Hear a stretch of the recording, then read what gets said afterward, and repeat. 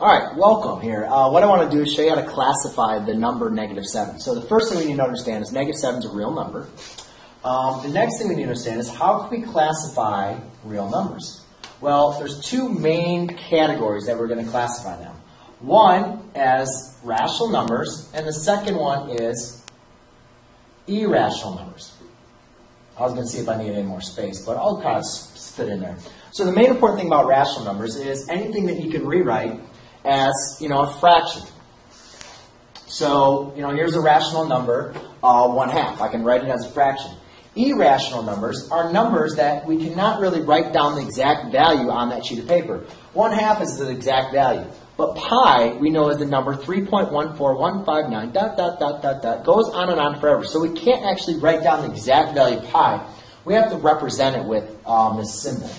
The other one is square root of 8. When you type in square root of 8 into your calculator, you get an approximation of 2.64, 2.64575513, something like that. But either way, that's again, that's approximation. We have to represent it as the square root of 8 because the exact value of that it goes on for on forever, and we can't actually compute the exact value. So we look at this and we say, all right, where is this going to be? Well, it's obviously going to be on the rational side. The next one we want to look at are going to be integers. Now, integers are obviously rational numbers. So I could say 6 divided by 2 is an integer. Uh, but the difference between integers and rational numbers is one thing, when I do 1 divided by 2, that gives me a decimal point 5. And if you think of like a number line, all the um, number line, you're looking at like kind of like whole numbers, like stepping stones, like 1, 2, and 3. So 0.5 isn't going to be one of those uh, whole numbers that we're looking for. However, 6 divided by 2 does equal 3. But the special thing about integers, which is going to separate them from the rest of these, is that they can also be negative.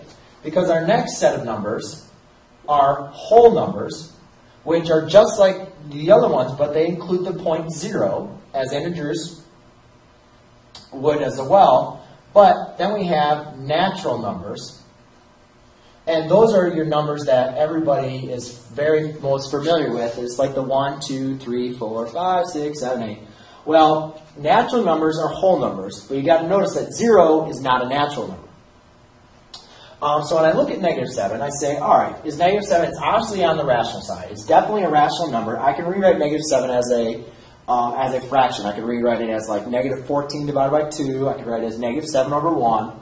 Then I look at it, it's definitely an integer um, because I can rewrite it as a negative, negative number. However, all whole numbers, no whole numbers are negative, nor are they natural numbers are negative. So therefore, negative 7 is only going to be contained in the set of real numbers, rational numbers, and integers. And that's it.